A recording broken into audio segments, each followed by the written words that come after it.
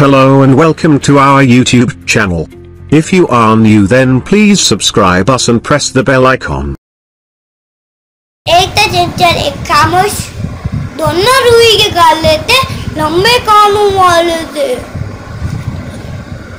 एक था काला एक था काला एक सफेद दोनों दोनों थे पिंजरे में कैद काला शोर बचाता था पिंजरे से टकराता था से Thank you for watching. You can follow us on given links and subscribe our channel for more information. The Redolent. We are your promotional bridge.